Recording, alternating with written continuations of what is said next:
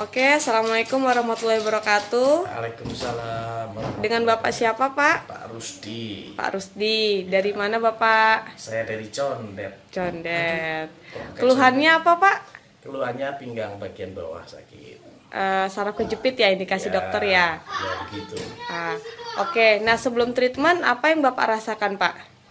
Eh, sholat susah, Ah. untuk ditekuk susah. Terakhir saya sholat malah duduk. Sholat Oke. zuhur duduk. Zuhur duduk ya.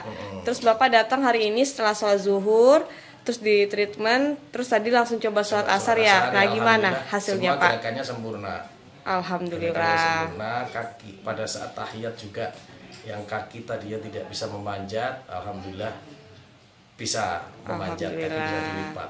Berarti sekarang sholatnya sudah sempurna berdiri ya Sudah Pak ya, sempurna. kayak orang apa ya Pak ya. Berdirinya tahiyatnya sempurna. Berarti saraf kejepitnya sudah membaik ya Pak ya. Alhamdulillah. Alhamdulillah. Oke Pak, menurut Bapak siapa aja sih yang boleh berobat di rumah sehat medical hacking ini?